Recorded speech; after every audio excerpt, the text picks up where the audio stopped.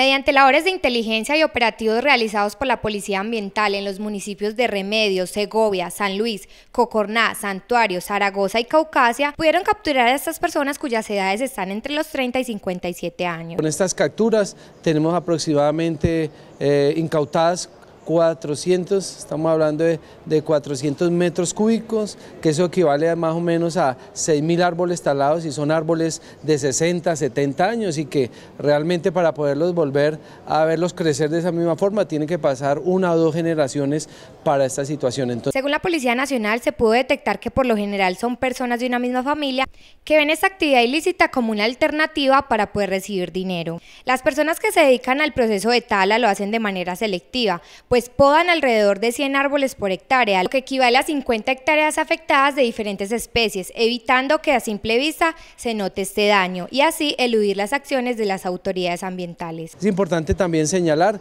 que aproximadamente estas personas están talando entre aproximadamente 1.500 árboles al mes y tienen unas ganancias hasta de mil millones de pesos. Es por ello que la Policía Ambiental está incrementando acciones que ayuden a minimizar actividades como es la tala indiscriminada y la deforestación. Al momento de verificar si no corresponde a las características de la madera, ya pasaríamos en la misma explicación buscarla por las características búsquedas por características y depende de las características que nos dé, si es una de, la, de, flora